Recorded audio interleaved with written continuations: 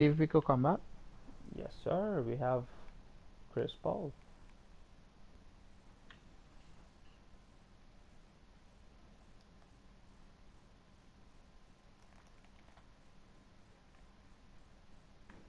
Clip that.